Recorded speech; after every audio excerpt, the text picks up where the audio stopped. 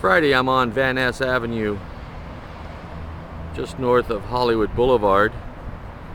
Up ahead, that's the off-ramp of the 101 entering Hollywood Boulevard. And just to the left there is a green area that belongs to Caltrans. It's the de facto homeless facility here in Hollywood, in this neighborhood.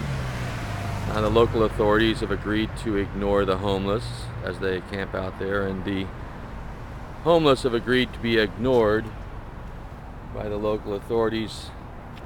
Behind this big green curtain is the future home of the Hollywood Homeless Healthcare Facility.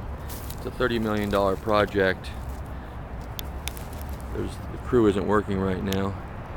It's going to be quite a quite a facility. Underground parking, three stories, green roof. It's going to be a LEED certified building.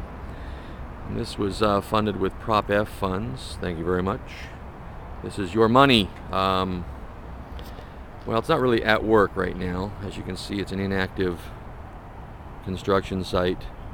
But it's an ambitious construction site. That's a big hole in the ground, isn't it? And um, this is the future of healthcare for the homeless here in Hollywood. It's also going to have uh, fire prevention services. This will be a multi-bay facility uh, that can accommodate uh, 16 firefighters at any given time during any shift. Quite a facility. Anyway, thanks for joining us here in Hollywood as we follow the development of the homeless situation here in the neighborhood. Thanks very much.